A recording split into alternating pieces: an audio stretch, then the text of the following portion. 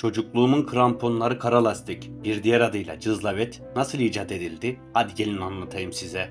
Türkiye'de özellikle kırsal kesimlerde 1930'lu yıllardan beri kullanıla gelen lastik ayakkabı cızlavet, ilk kez 1900'lü yılların başında İsveç'te Wilhelm ve Karl Giselov adında iki kardeş tarafından icat edildi.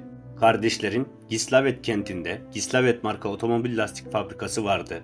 Burada lastikleri nasıl değerlendirebiliriz diye düşündüler ve lastik ayakkabı yapmaya karar verdiler.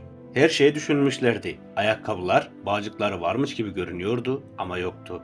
Üretilen ayakkabılar çok ucuzdu. Sadece İsveç'te değil, kısa zamanda tüm Avrupa ülkelerinde satılmaya başladı.